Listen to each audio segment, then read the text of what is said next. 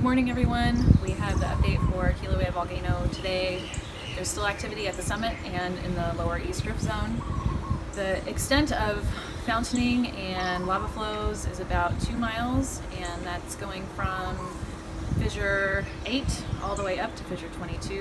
There's two main channels of lava that are issuing from those vents going down to the coast and one of the channels, the, the furthest channel to the east is bifurcating, so it's splitting into two, and now we have three ocean entries at the coast.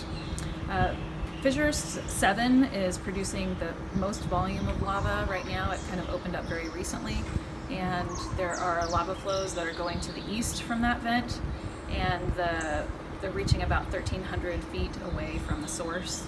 And easternmost extent right now is out Kaupili and Leilani streets in Leilani Estates.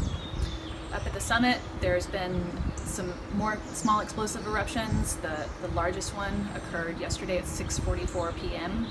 and that produced an ash plume that went up to about 7,000 feet. You're still going to experience ash downwind if you're in that summit area. And there was a 3.9 magnitude earthquake right at the summit, just below the Hawaiian Volcano Observatory building um, that preceded that explosion. That's the update for today. Thanks.